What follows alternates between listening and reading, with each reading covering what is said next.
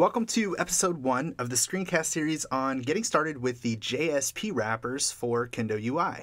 In this episode, I'm going to walk you through the installation of the wrappers and show you the basics of how to use them.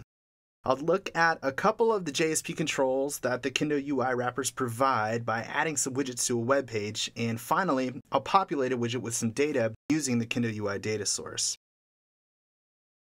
To get started, all you need is your favorite IDE with support for JSP, of course, and at least version 1.7 of the JDK. I created a simple dynamic web application that has a single index.jsp page. To use the JSP wrappers for Kendo UI, I first need to include the Kendo UI JavaScript and CSS files from my download, which I could just copy into the web content directory of my project. I also created header and footer tags. The header contains all of the necessary CSS and JavaScript files so that I can use it again across multiple pages if I need to. Next, I need to include the Kendo UI tag library from the taglib folder of my Kendo UI download. All that I have to do to get this jar into my project is to drag the file to the lib directory in the web inf folder. When it prompts, I have it copy the files to the directory. At this point, I could just run the application on my locally hosted Tomcat server and check it out in the browser. Now that I've got all the right assets in all the right places, I'm ready to start using Kendo UI in the index page. Now, note that I'm not going to do anything fancy with JSP or use a framework like Spring, MVC, or Struts2 or anything else. I'm just going to write simple JSP pages and illustrate how to use the Kendo UI wrappers.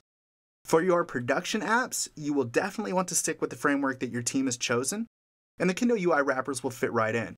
In fact, the Kendo UI demos that come in the download use the Spring MVC framework.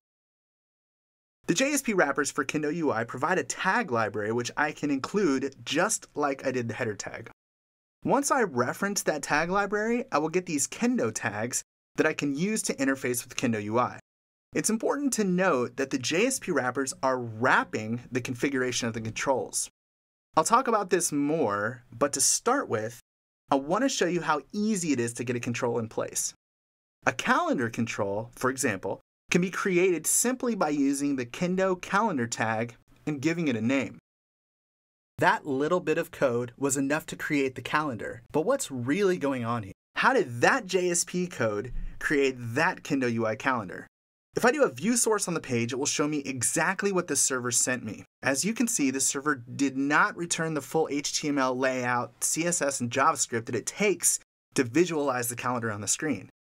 Instead, it only produced the JavaScript that was needed to use the standard Kendo UI calendar. And this is ultimately what the wrappers do. If I inspect the element, we can see what the page looks like after Kendo UI got done with it. You can see that our simple calendar tag is now some HTML with CSS classes.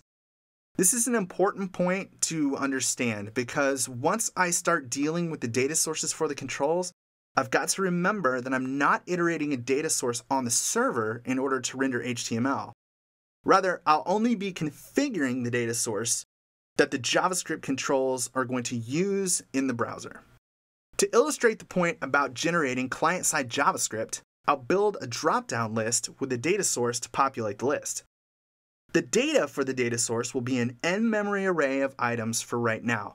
We'll take a look at connecting to data on the server in later episodes. First, I'll build a simple generic list of strings. This will be the data that shows up in the drop-down list. Then, I'll create a Kendo UI drop-down list. Inside of that drop-down list, I'll create a Kendo UI data source and set its data attribute equal to the Java string list variable.